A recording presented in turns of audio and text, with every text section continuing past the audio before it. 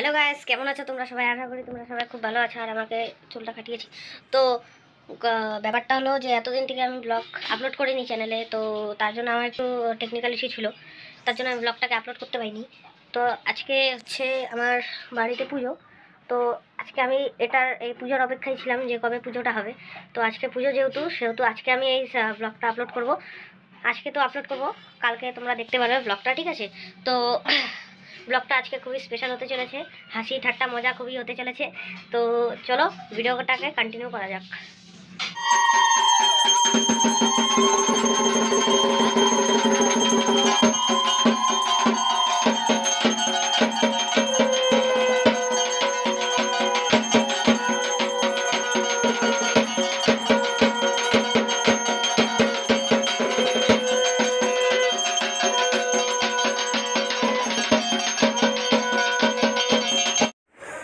তো গ্যাস তোমরা দেখলে যে বাড়িতে পুজো ছিল, ঠিক আছে?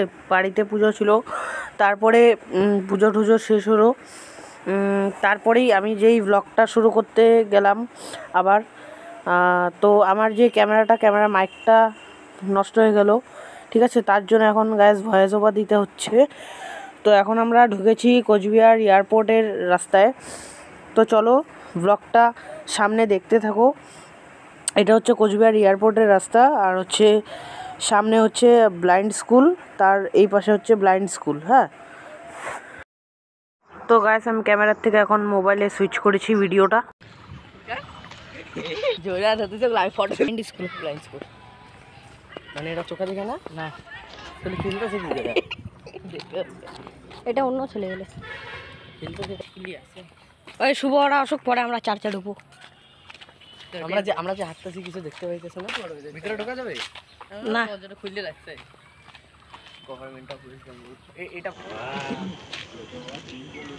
ওটা হচ্ছে চার্চ বেল এটা হলো মেন চার্চ তো গাইস এটা হচ্ছে কোচবিহার এয়ারপোর্ট ঠিক আছে? এই এয়ারপোর্ট কোচবিহার এয়ারপোর্ট এখানে সম্ভবত ঢুকতে যাওয়া যায় না। তাও তো গায়েস আমি কইতা হে কি, আমি কালকে ব্লগটা কি এন্ড করতে কি ভুইলা গেছিলাম, ঠিক আছে? তো আমি এই যে শুয়ে আছি না, তো আপনারা যদি আমার ব্লগটা ভালো লাগে, তো আমি বেশি ব্লগ করি নাই, ঠিক আছে?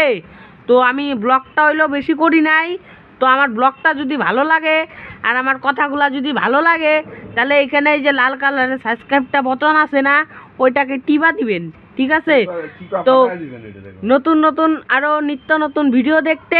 আমারও তো ওই আমার ওই চ্যানেলটাকে সাবস্ক্রাইব করবেন। তো চলুন ভিডিওটাকে এখানেই এন্ড করা যাক।